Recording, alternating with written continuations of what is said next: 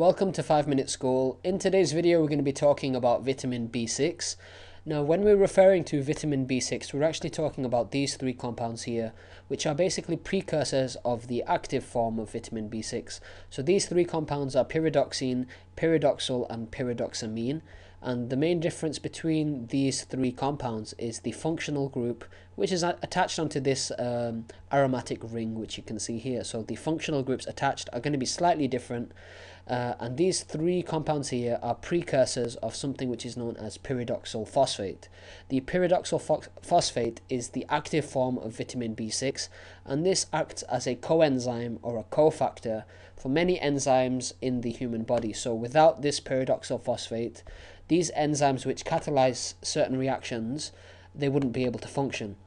So it's especially common in reactions involving amino acids. And I've made a note here that pyridoxine and pyridoxal, you'll find them in animal products, and pyridoxamine you'll find from plant products.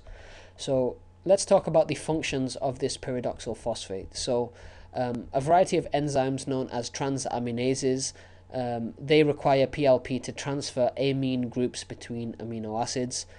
Um, so without this, you wouldn't be able to convert certain um, amino acids into different amino acids. Uh, pyridoxal phosphate is involved in the biosynthesis of five neurotransmitters, and those are serotonin, dopamine, epinephrine, norepinephrine, and GABA. PLP is also involved in the synthesis of histamine, and the enzyme which breaks down glycogen, which is known as glycogen phosphorylase, that requires pyridoxal phosphate to function.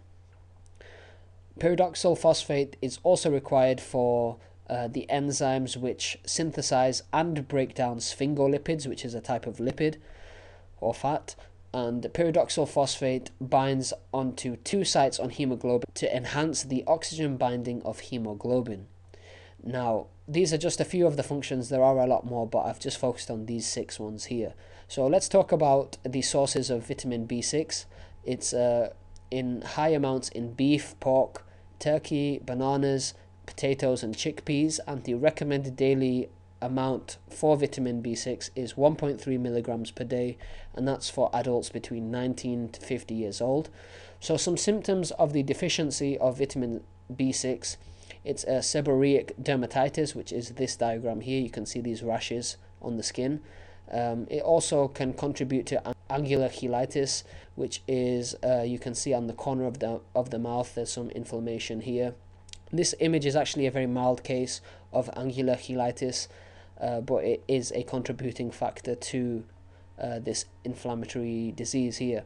It also contributes to chronic conjunctivitis, which you can see from this diagram here, and it also is involved in atrophic glossitis with ulceration, so that's inflammation of the tongue.